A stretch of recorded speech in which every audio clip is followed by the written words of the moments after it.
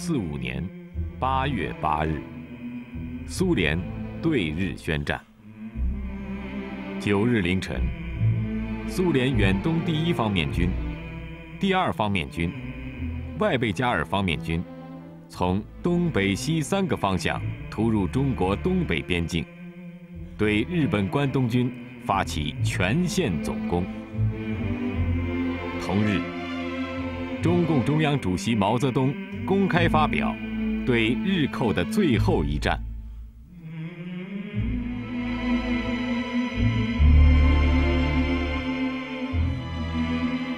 在中国敌后战场上，八路军、新四军开始了全面大反攻。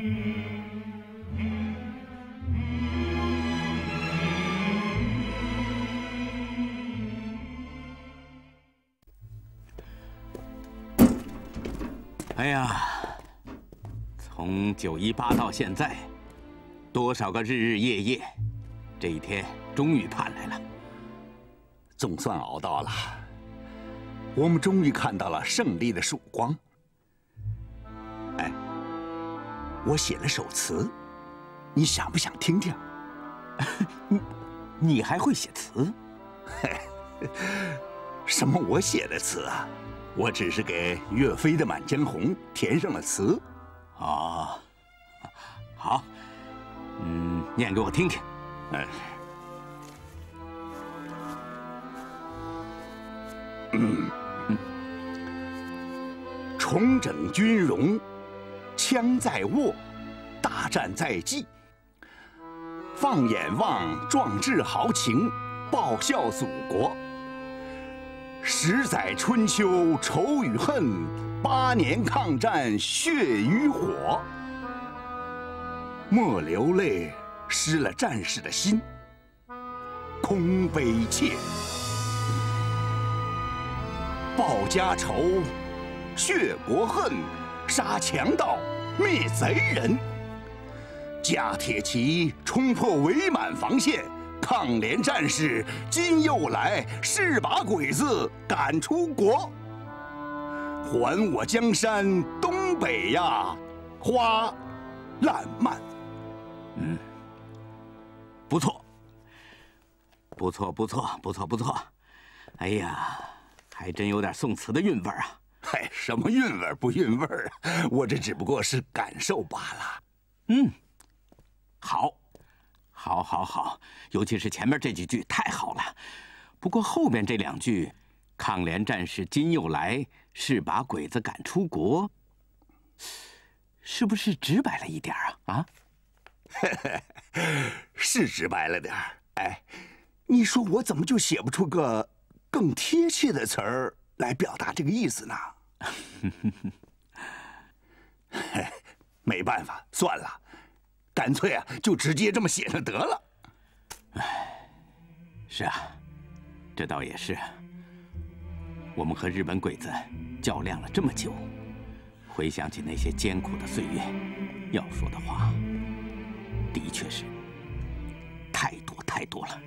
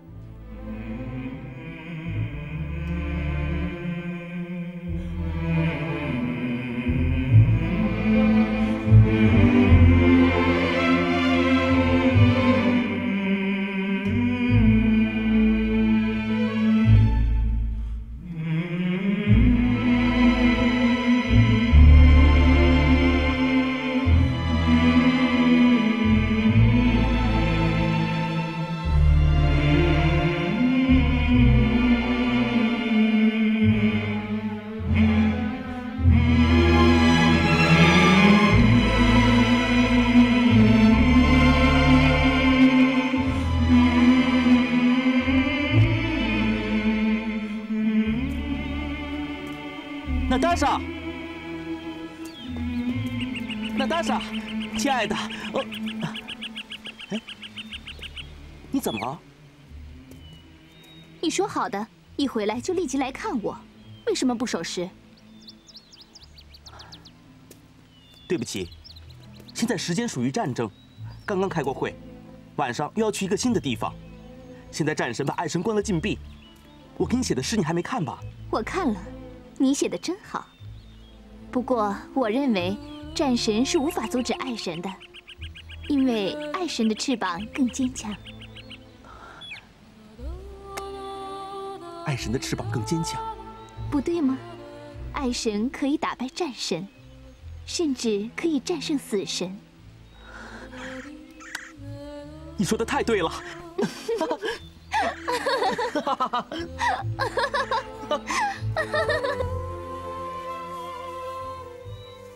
嘿，这回啊，可够小日本好看的了。你说一百五十万大军进入东北，我敢说呀，不出三个月，整个关东军统统完蛋。三个月，太保守了吧？要我看呢，两个月就够了。队长，用得了这么久吗？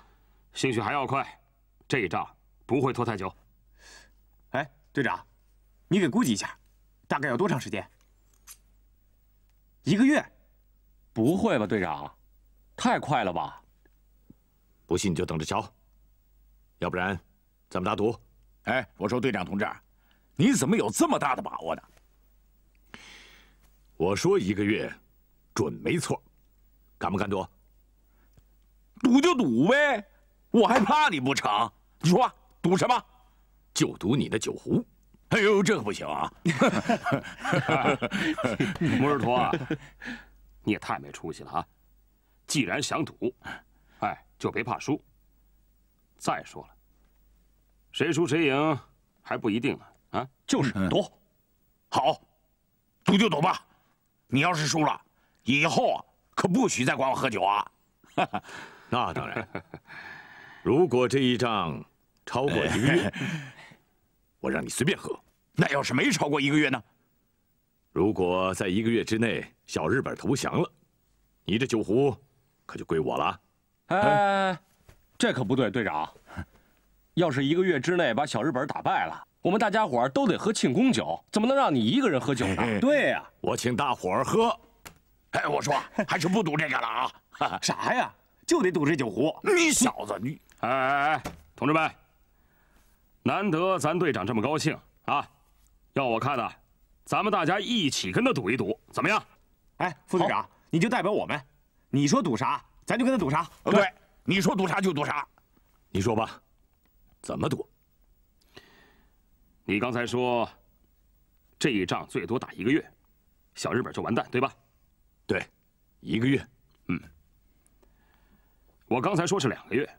嗯。现在我改变一下估计。好，那你说多长时间？二十天，二二十天。我说副队长同志，你可是代表我们大家跟他赌啊！二十天，太快了吧？也许还要快。啊啊！嗨，同志们，看我带什么来了！天晓，你先坐下。哎 哎，来来来，坐下。我说，大家都怎么了？哎呀，你坐下。让你坐下，你就坐下。嗯，什么二十天啊？啊？哎，同志们。看天晓给咱带什么来了？哎，我说，咱们别赌了，咱们先干杯吧！啊！哎，等等等等等，等会儿，你们先告诉我，刚才说什么呢？什么二十天还打什么赌？哎呀，你就别问了，一会儿你什么都知道了。队长，还让我们先喝吧。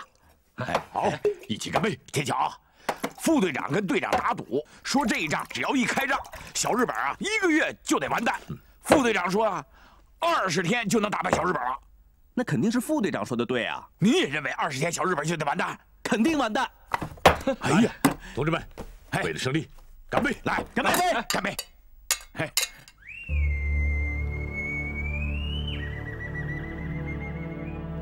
苏联红军已向我国东北境内的日本关东军发起了总攻击。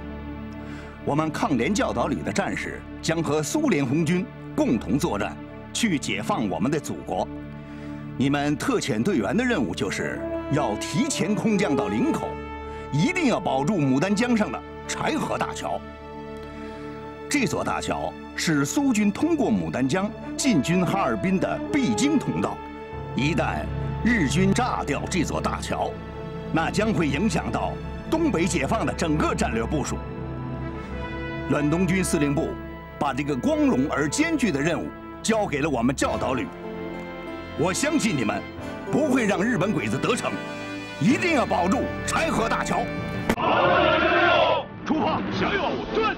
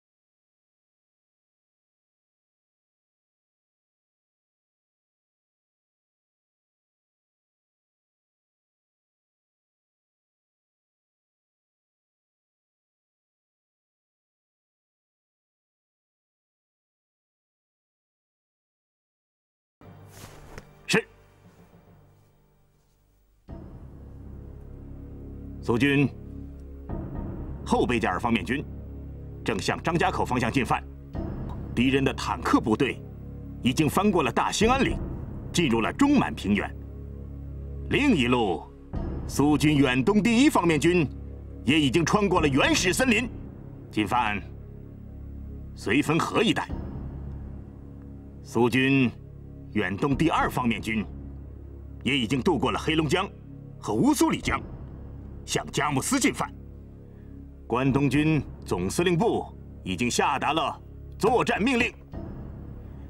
国境一线的部队，他们正在顽强的与敌人浴血奋战。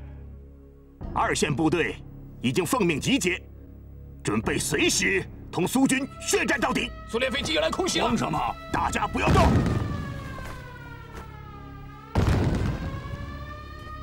司令官阁下，这里太危险了，你是不是也到防空洞里躲一躲？大家离开这里，赶快到地下防空洞去！快！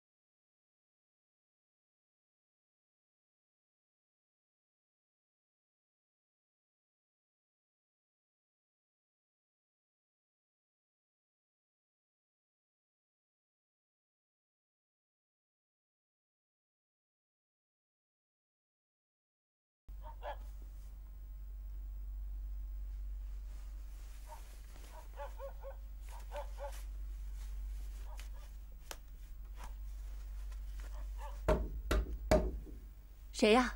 卖皮货的。来了，来了，来了！你怎么才回来呀？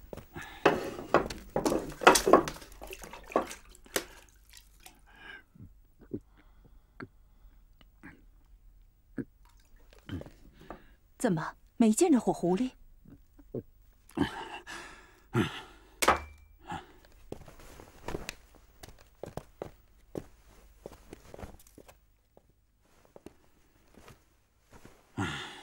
怎么办呢？你倒说话呀。我这不正想办法呢吗？开门。开门快开门。你是不是被跟踪了？没事开门去吧。哎开门呐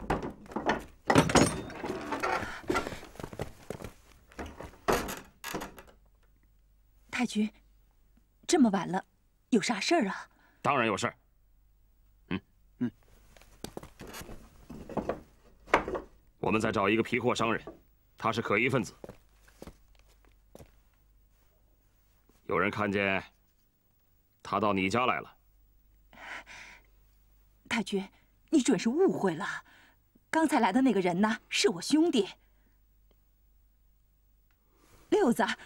六弟，你快出来呀！快快快！你看那太君，他像皮货商人吗？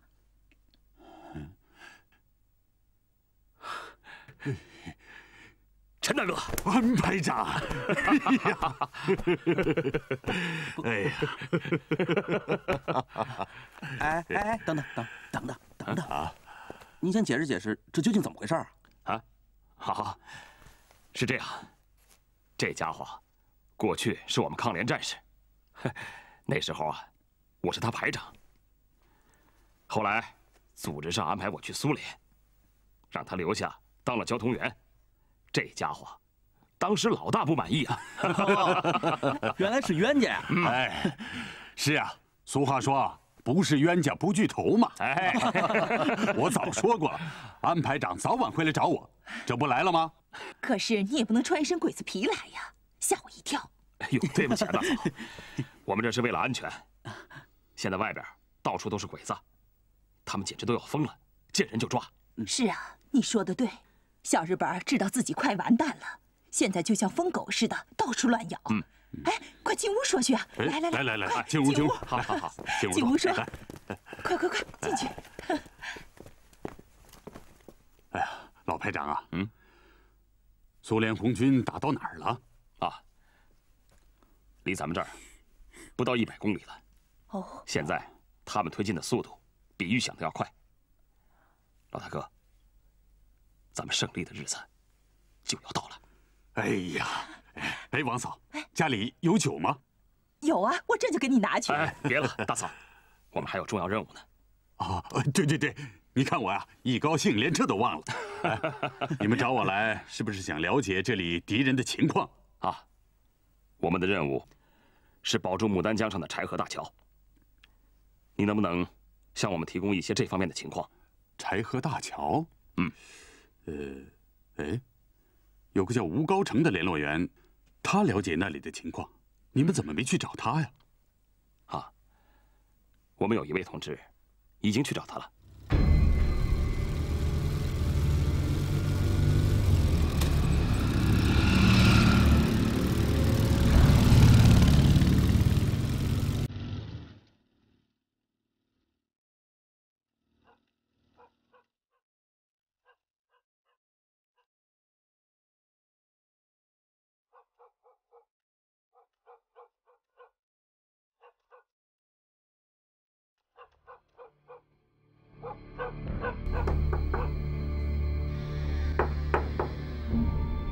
谁呀？老乡，家里过年剩的酸菜还有没有？这都几月了，没有了。我只要三七二十一斤。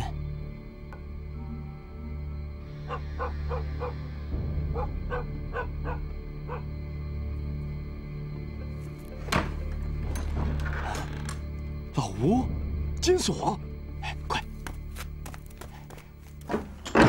哎 呀，金锁啊！哎 呀，没想到五六年了，联络员就是你呀！我都等你们两天了。哎，其他人呢？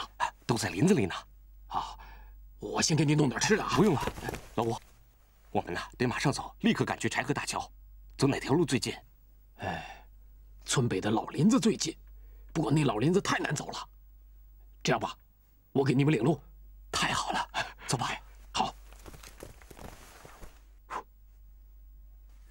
前几天我听火狐狸说，他对柴河大桥进行过一次侦查，敌人看守得很严，一般人几乎无法接近大桥。从他观察的情况看，敌人确实在做炸桥的准备。守桥的是哪支部队？是一支训练有素的江桥守备队，队长叫阿野龙雄。阿野龙雄。啊，哦，对了。这个情况很重要。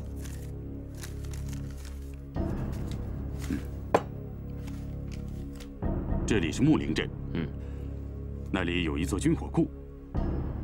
敌人要炸桥的话，很可能从这座军火库调运炸药。这是离大桥最近的军火库吧？嗯。要是能把军火库炸了就好了。咱们的游击队能不能完成这个任务？嗯。怎么了？刚才我和火狐狸去联系，他已经走了，可能发生了什么意外情况，和游击队就取得不了联系了。如果要炸军火库的话，那只能靠你们自己的力量。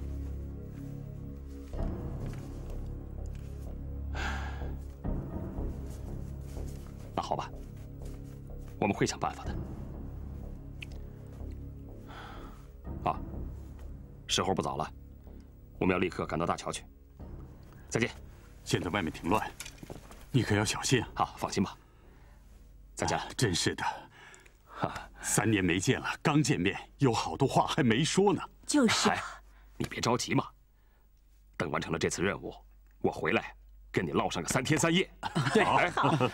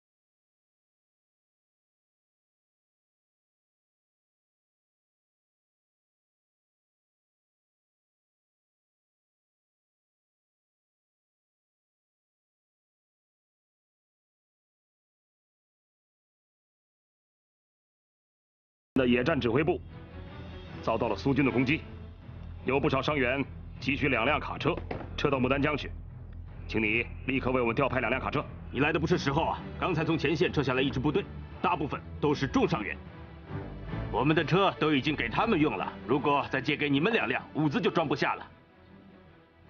每辆车上再多装一些物资，不就可以腾出一辆车来了吗？嗯，这是。给你的一点小礼物，嗯，啊，不，你，嗯啊，嗯。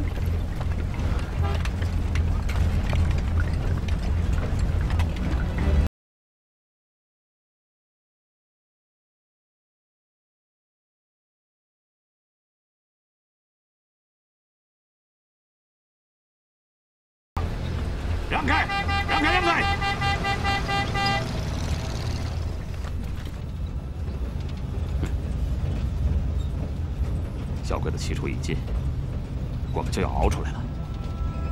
熬出来了？这可不像你说的话呀。嗨，是，也许我不该这么说。不过，眼看就要胜利了，难道你就没有点自己的打算？打算？嗯，好，当然有。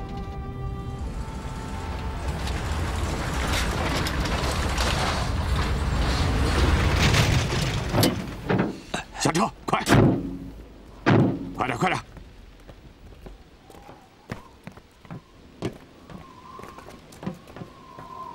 快点走了，就快到了，就在那边，快点走。好。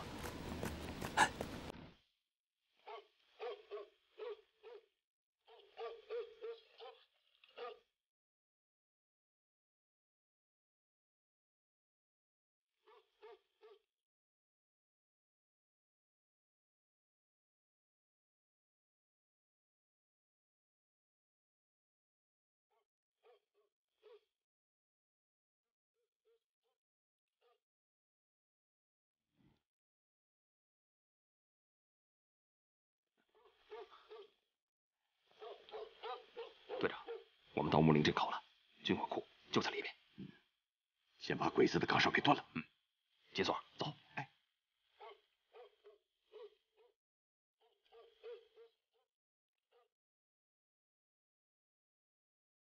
干什么的？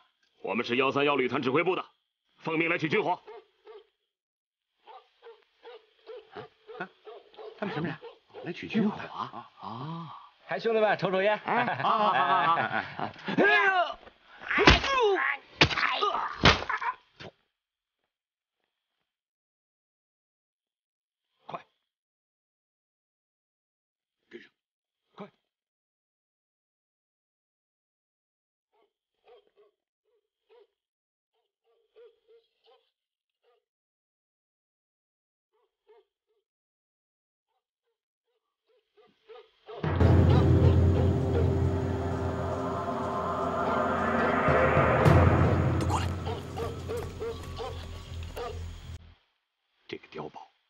攻进军火库的关键。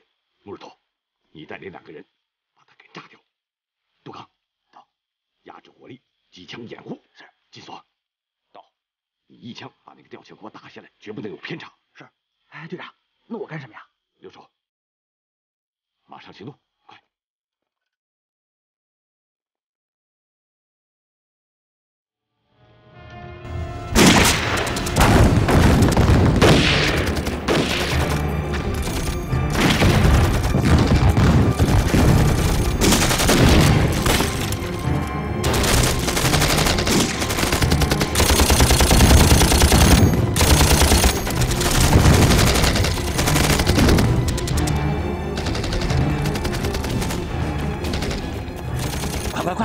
快，把桥烧掉！是，快！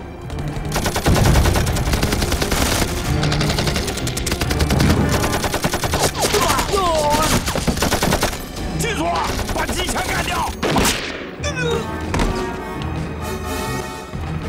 敌人回桥，金锁！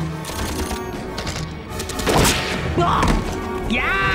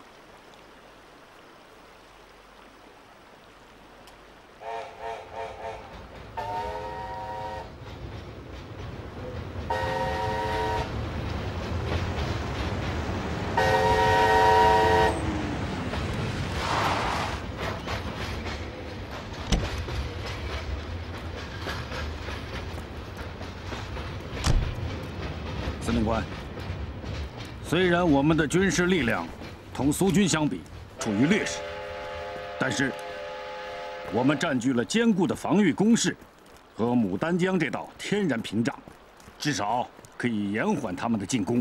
牡丹江是通往哈尔滨的关键所在，而且也是东部战线上重要的一环。这座大桥，报告。江桥守备队队长阿亚龙雄在此恭候司令官和参谋长阁下。这座桥关系到我们的生死存亡，所以我们必须在敌人进攻之前炸掉它。明白。炸药安置好了吗？已经安置好了。不过，司令官，这座大桥是我们唯一的撤退通道。不到万不得已，是不是还应该以守桥为主？能够守住，当然更好。我看，如果炸掉它更容易一些。阿野队长，你明白我的意思吗？明白。我命令，从现在开始，除了伤员以外，任何作战部队不允许通过这座桥后撤，他们必须战斗在第一线。是。你再仔细的看看，木尔托，炸药在什么位置？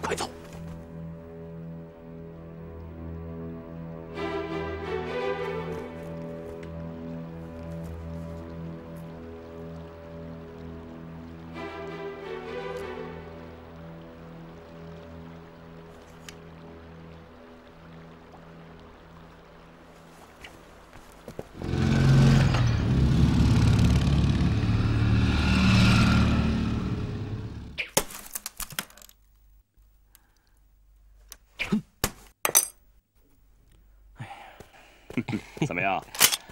现在知道了吧？这功夫不是一天两天能学会的。天晓，我觉着你还是练练我的狙击步枪吧。好啊！你倒是真有瘾呐！啊，可惜啊，等你成了一名出色的狙击手，这仗恐怕也打完了。啊？打完了？不会这么快吧？哼，你没想过吗？自从苏联红军进入东北，小鬼子是节节败退，兵败如山倒啊！我估计啊，你没学两天，他们就完蛋了。那我得抓紧时间，用这家伙多杀几个小鬼子，好证明我的枪法。哎，副队长，嗯，你说这仗要是打完了，咱们干什么去啊？你想干什么呀？呃，不知道。不知道？哼，这还不简单啊！回家过好日子去。哎，什么？过好日子？怎么？你不想吗？想。反正啊，我是不想再打仗喽。哦，我知道了，副队长，有一个美丽的姑娘在家乡等着你呢。你呀，只说对了一半。在我的家乡，不光有美丽的姑娘，还有美丽的鲜花、美丽的山峰、美丽的河流，一切都是美丽的。啊，穆尔图，你是爆破专家。如果让你把这座桥给它炸掉，你会把炸药埋在什么位置呢？呃，呃，当然是这两个桥墩了。用什么方式引爆呢？用引爆器，引爆的电线呢，顺着桥栏走，一直通到桥头堡里面。队长，鬼子会不会把电线放在桥栏的内侧？那不是让过桥的人都看到了吗？鬼子他又不傻，看见怕什么？巡逻的都是小鬼子，自己还能剪自己的线呢。嘿，他白天看得住，晚上看得住吗？如果真是在桥栏的内侧，咱们倒省事儿了。晚上爬上去，咔嚓一剪，完成任务。你拉倒吧你！那小鬼子不会检查呀。行了，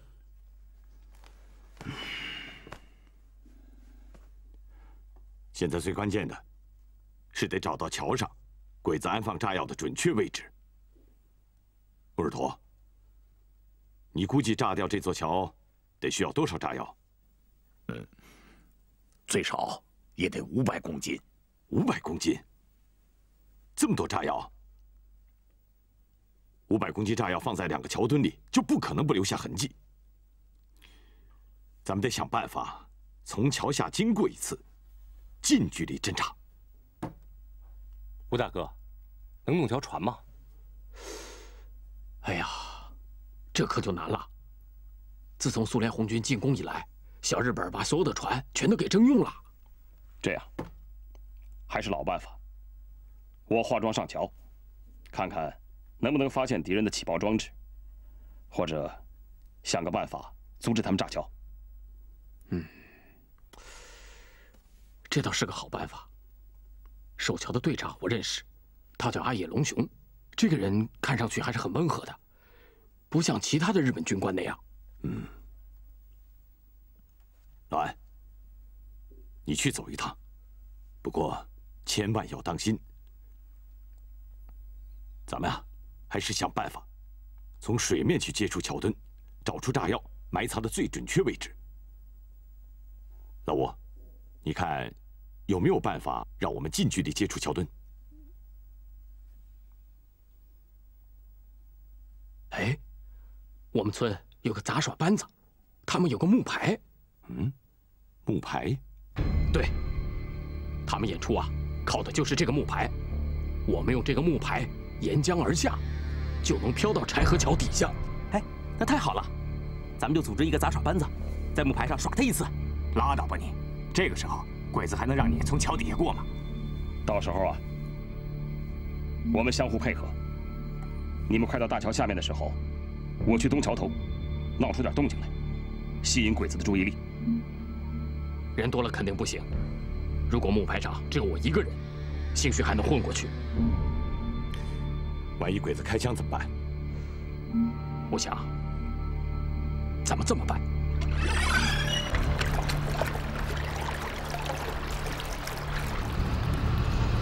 哎，河里有动静，快！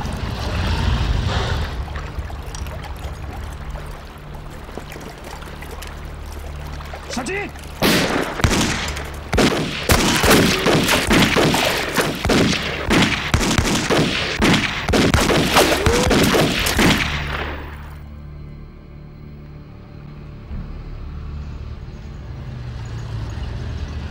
停车！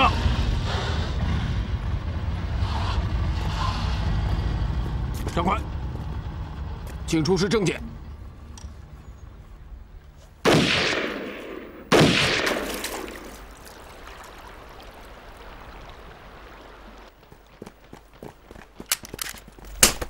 混蛋！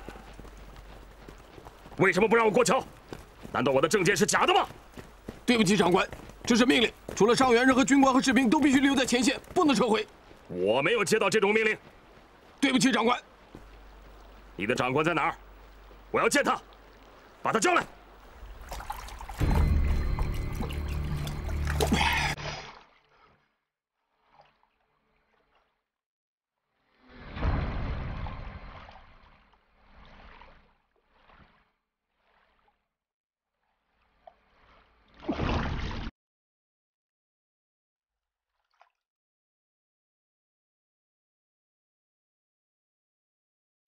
怎么说？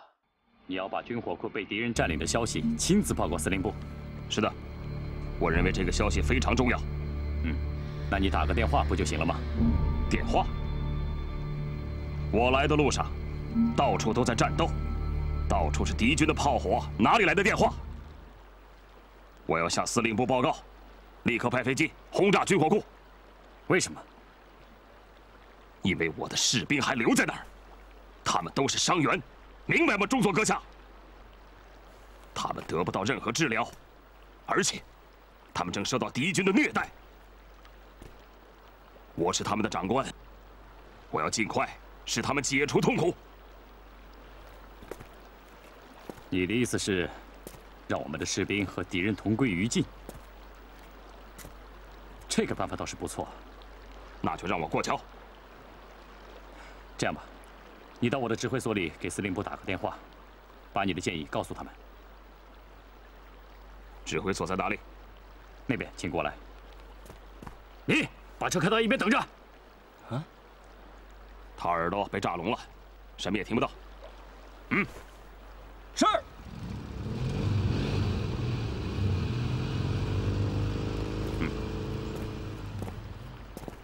看来敌人对军火库的进攻很猛烈啊！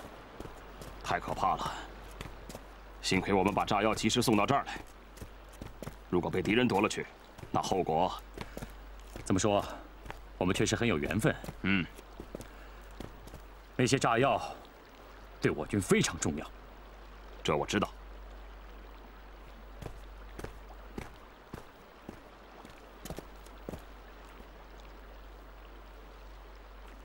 是的，军火库里已经没什么武器弹药了，只有伤员。他们被关在这里已经快十个小时了。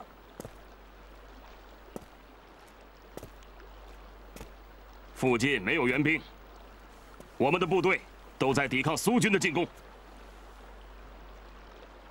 我请求派飞机轰炸，让我的士兵和军火库同归于尽。什么？不，将军，你听我说完。喂，将军，喂，将军。混蛋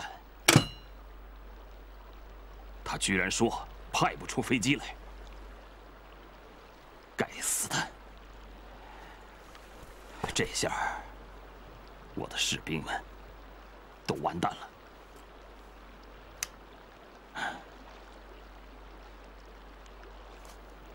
好了，大卫，你用不着这么悲观。如果你的士兵真想以死来表达他们对天皇效忠的话，我相信。他们有的是办法。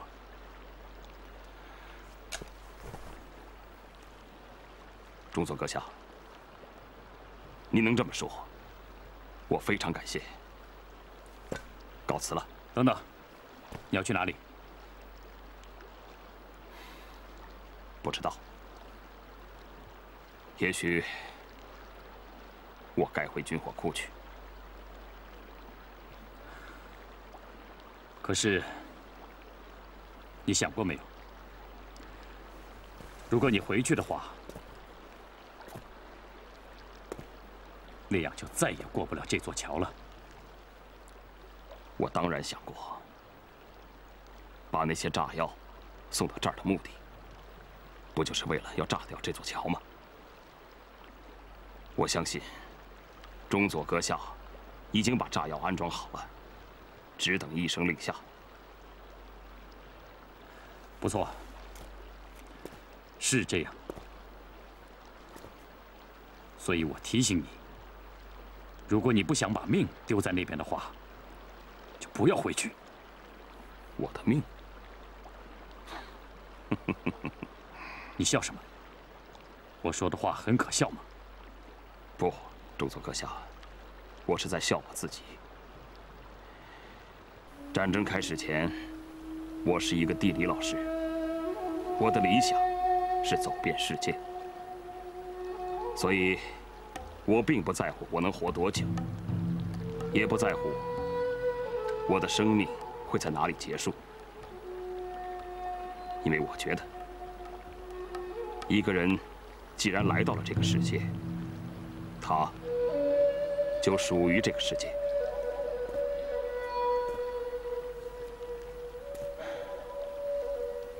所以。死在桥的那边，还是这边，对我来说都是一样的。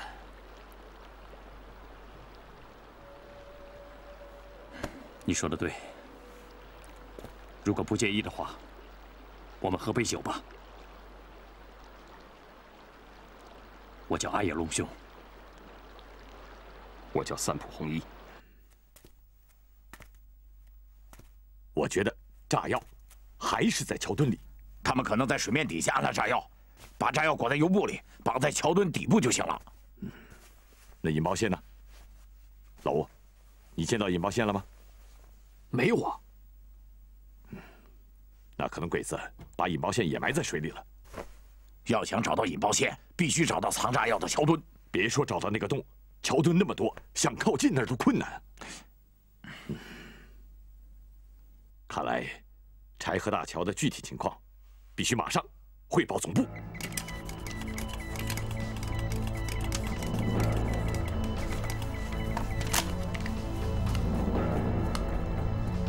首长，请看。嗯。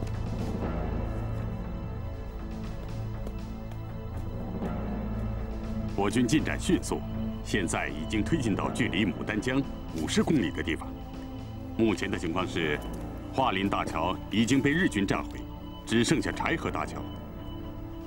我想知道，特遣队对这座大桥了解的情况有多少？敌人在柴河大桥上安装了炸药，而且安装的很隐蔽。我们的队员还在想办法寻找炸药位置，请你告诉他们，总部了解他们的困难，已经派了桥梁专家，以最快的速度赶到我们这里。好的。嗯嗯。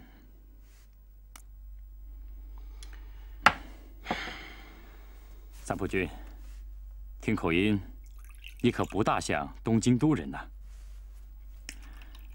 是不是来中国的时间长了？口音也改变了。嗯，其实来中国之前，我的口音就有很大变化。我们搞地理的，喜欢到处跑，口音很容易改变嘛。哼，那倒也是。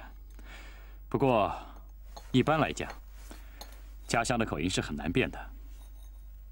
哦，对了，嗯，忘了问了，阿野君家里人还好吧？你太太她啊……他也在中国，准确的说，就在桥那边。真的吗？嗯，在桥那边的镇上，有我们日本人开的一家小商店，他是那儿的老板。我的儿子太郎也跟他在一起。哦，那这个时候还不赶紧把你太太和孩子接到这边来？已经派人去接了，可不知道为什么，到现在还没过来。恐怕是道路拥挤，车辆很难通行吧。三浦君家里人怎么样？有什么消息吗？一直没有消息。说实话，我真希望这场战争早点结束，尽快回到家乡去。报告。中将同志，鲁道夫已经带到。哦，桥梁工程师。哦，你好。但愿他能对你拆除大桥上的爆炸装置有所帮助。啊，请你马上派人把他送到特遣队的隐蔽地点。好的。我们的部队最迟在十八点应该到达江边。特遣队必须在十八点之前把桥梁上的爆炸装置全部拆除。否则，我们就要强渡牡丹江。是。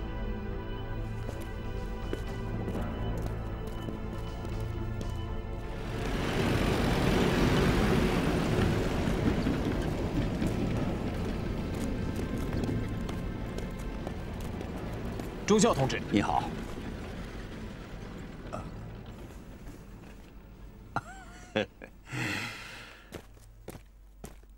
这支部队。他们刚从欧洲调来，你这个德国军官出现在远东，他们不理解，又怀疑，这是情有可原。这我明白，我是个战俘嘛。啊，不不不，你能来到这里参加对日作战，说明你已经是一名反法西斯的战士了。队长先生，我来这里不是来参加战斗的，我只是一个桥梁工程师，你们要我来是要修复那些被战争毁坏的大桥。啊，鲁道夫先生，你是学桥梁设计的，一定见过不少的桥吧？在欧洲，我设计并监制的大桥有十几座，不幸的是，他们大多数已毁于战火。虽然我是军校出身，但我能理解。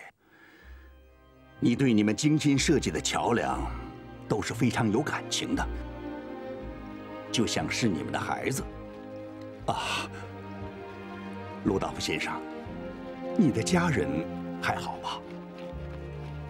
是的，他们住在德累斯顿。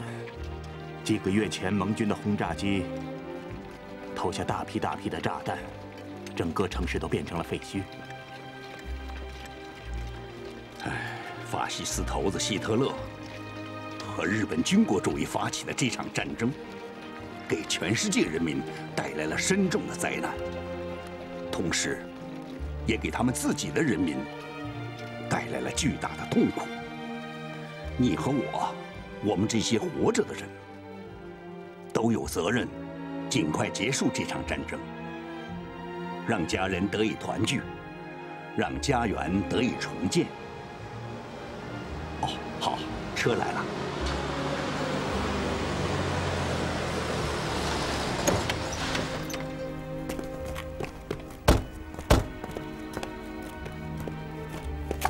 中校同志，军指挥部作战参谋瓦西列夫中尉，情报部福尔曼诺夫中尉，奉命护送桥梁专家前往柴河前线。嗯，鲁道夫，他们会送你到中国东北，那里是我的祖国。我衷心的希望。战争结束，回到家乡，能找到你的家人。再见，再见，祝你一路顺风，请。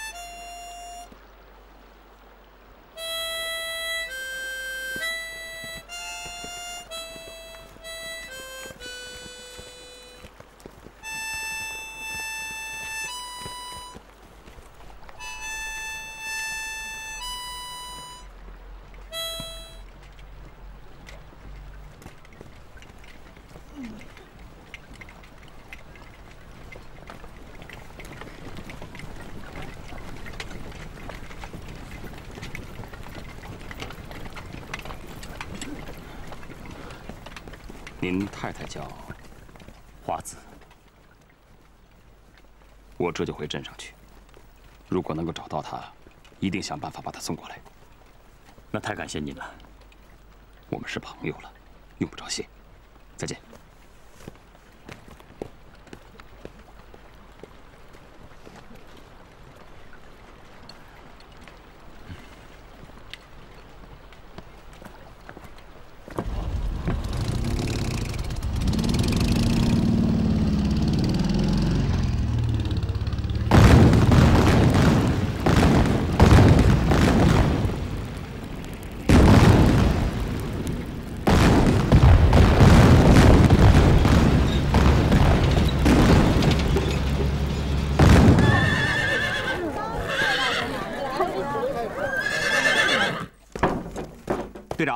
吕布急电，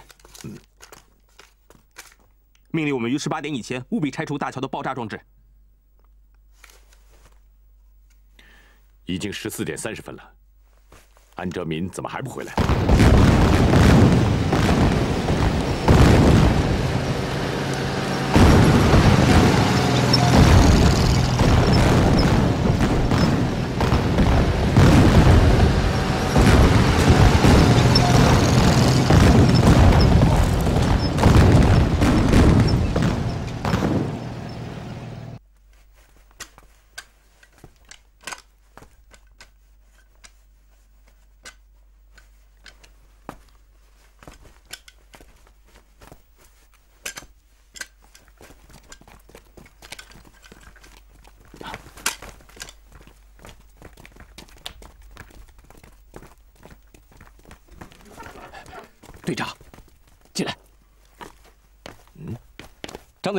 给你们带来了一个人。林参谋，你怎么来了？我带了一个桥梁工程师。嗯。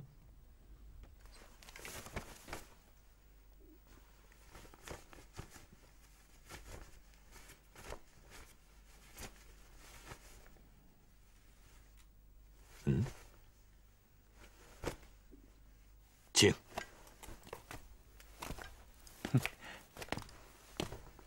你好啊，同志。不，他是德国人。德国人，简直是胡闹嘛！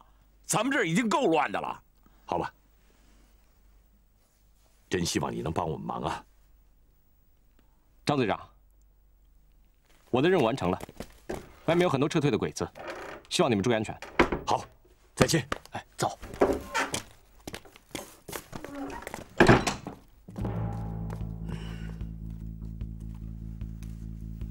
看来我们的大队人马已经到了，杜刚、田晓到到，你们马上集合其他的队伍，化妆成鬼子伤兵，向大桥靠近。十六点，你们在东桥头配合行动，吸引敌人注意力。是是。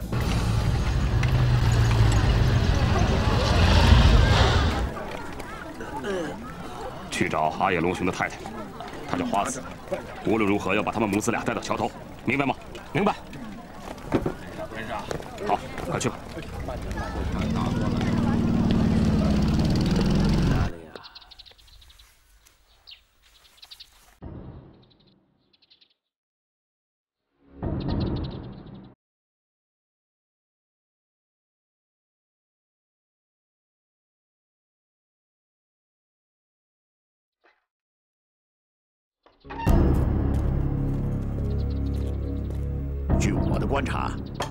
这座桥大约是一百六十米，桥面宽大约是十米，双桥墩一共有五组，有三组在水下，它们之间相隔大约二十五米，桥墩直径一米左右。我估计敌人放炸药最安全的位置应该是在这个河中间的这组桥墩。你看到日军的爆炸装置了吗？啊，没有。不过小鬼子这套把戏啊，瞒不了我。你想，敌人把炸药藏起来，啊，呃，就是怕咱们发现啊。他们啊，肯定把炸药绑在水面下的桥墩上，一来没人看得见，二来啊，要想到那桥墩去，那河中间的水有七八米深呢，必须得坐船去。可鬼子碉堡那么多，随便一突突，没等船到桥下，就全都玩完了。你不信？嘿，不过，鬼子以为我们就没有招了，他错了。你看啊，他要想起爆炸药，就必须把这个引线通到他的指挥所吧。我们就从桥头冲过去，只要是到了桥下，找到引爆线，嗯，就万事大吉了。不不，大错特错了。什么错？你知道小鬼子是咋想的？在水下炸药的威力会受到限制，对于炸桥这不是首选。威力不够，多放炸药不就行了吗？对于任何一座桥梁来说。最致命的是它的结构支撑点，它能使大桥瞬间倒塌，就像人的心脏。啊，大桥还有心脏？嘿，这倒新鲜。你干脆点，敌人到底把炸药藏哪儿啊？没有看到大桥的设计工程图，只凭这个，我无法做出判断。我上哪儿给你找设计图去？你这不是跟没说一样吗？设计桥梁是一门复杂的科学工程。知道建桥的第一要求是什么吗？是它的抗震能力。所以说，大桥的工程设计图是至关重要的。老安太不像话了，跑到哪儿去了？咱们只有四个钟头了，怎么样？找到炸药位置了吗？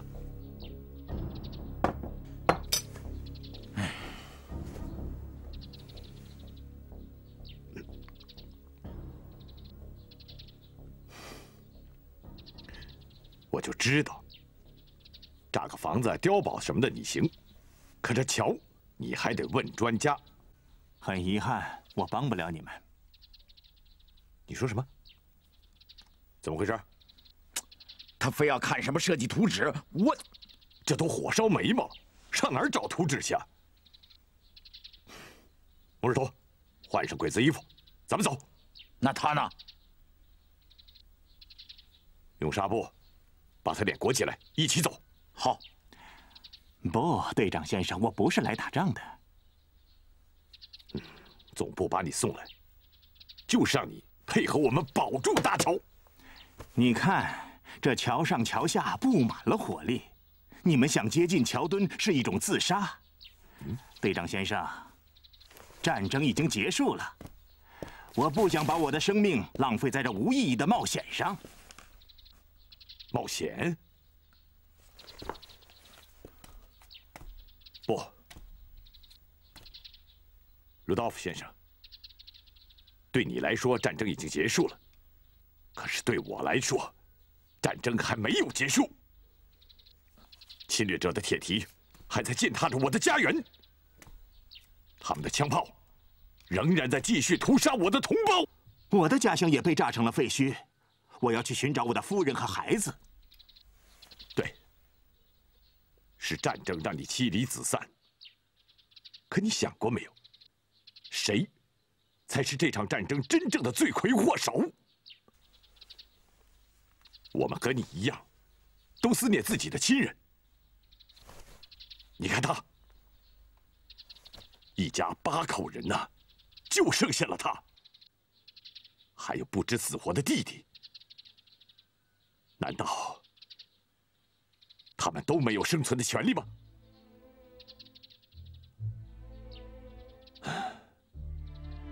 好吧，鲁道夫先生，我们不能强迫你。不过要让你知道，这不是冒险，我们是在为祖国而战，是为人类的和平而战。也许你不知道。敌人万一炸断了这座桥，我们的部队必将强行渡河。到那个时候，部队将有大量的人员牺牲，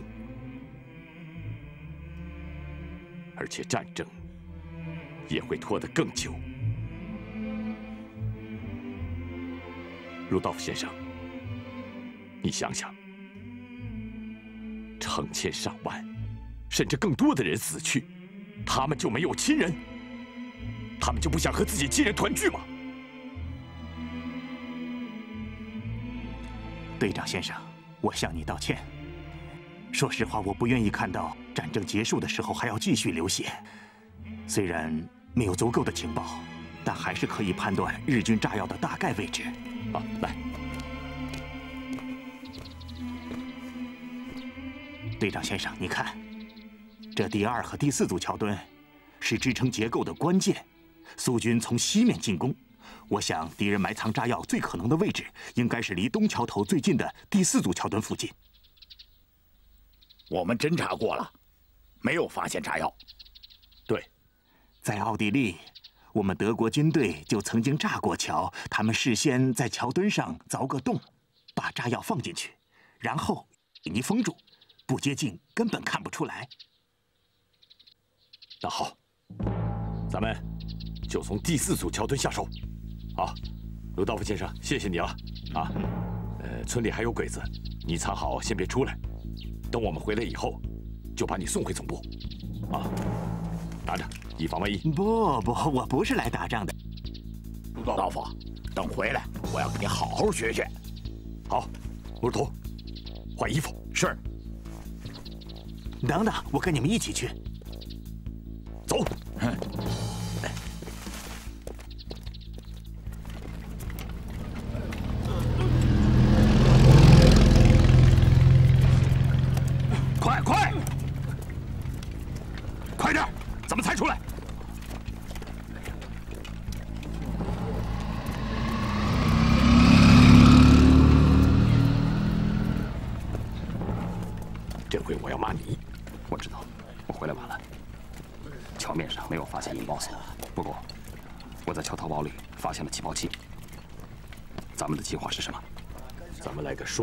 双管齐下。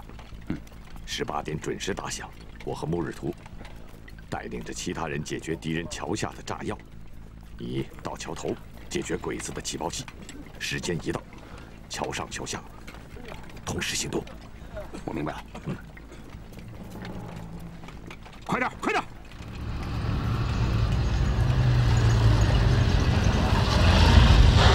过来了。哎，小姐，你认识花子小姐吗？不认识。哎，认识花子小姐吗？不认识。哎，请问认识花子小姐吗？不认识。认识花子小姐吗？知道。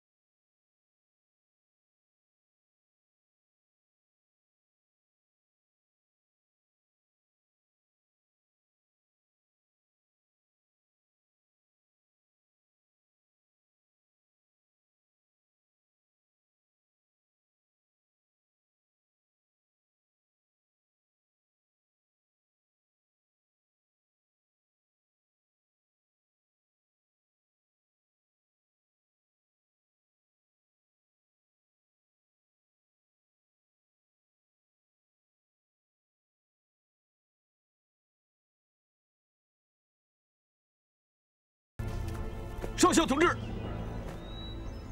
你来干什么？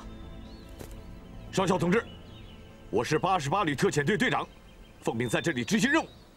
啊，我知道你，你是张飞虎。是的。嗯，请问您是？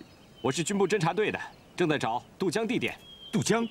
是啊，日本人在大桥上安装了炸药，万一这桥被炸的话，我们只能强渡过江了。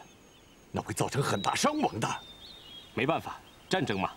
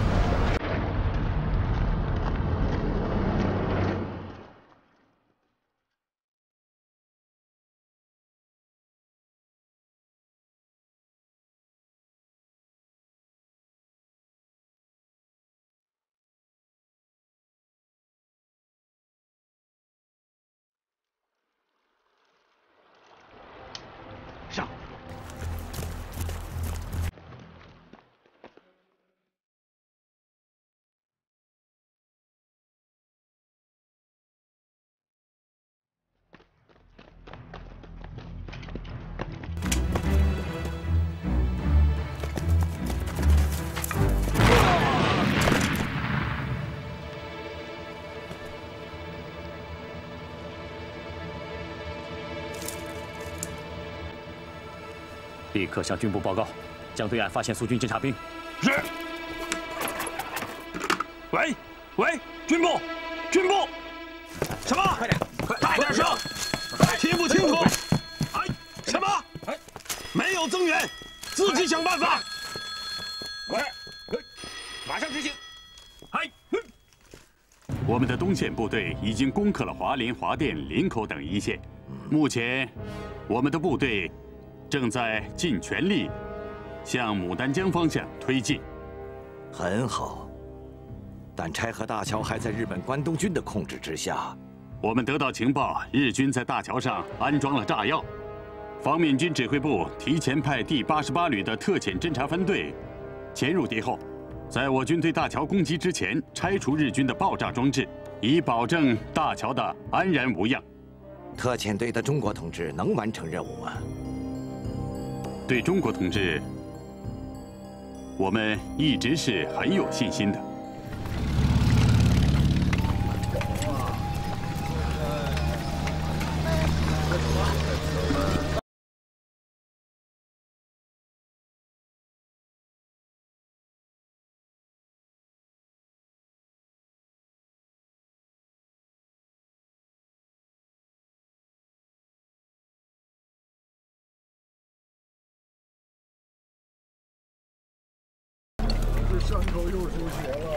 好，知道。我立刻向阿野队长报告。军部命令：立刻消灭苏军侦察兵，绝不能让他们接近大桥。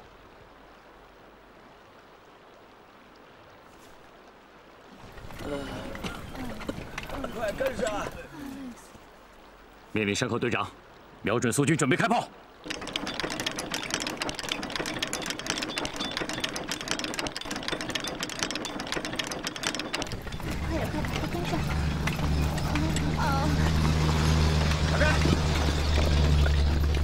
野军，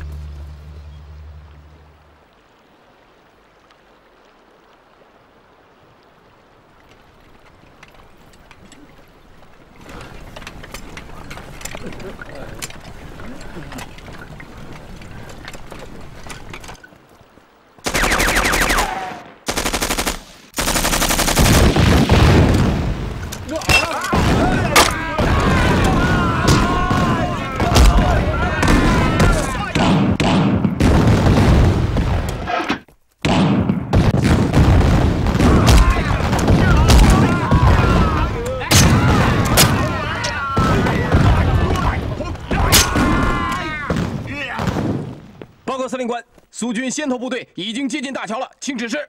下去吧。准备炸桥。司令官，桥那边可有咱们的随军家属和伤员呢。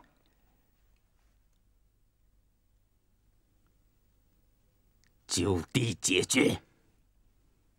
就地解决。